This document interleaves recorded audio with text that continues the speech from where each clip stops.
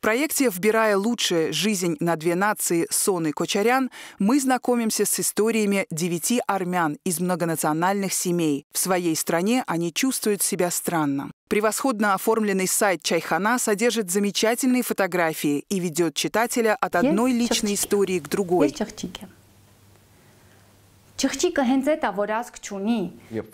Участники проекта красноречиво говорят о своем воспитании, культурной самобытности и о проблемах, с которыми они сталкиваются. Ну, Захватывающие истории в мультимедийном формате доступны на армянском, русском и английском языках и осведомляют о разнообразии в Армении.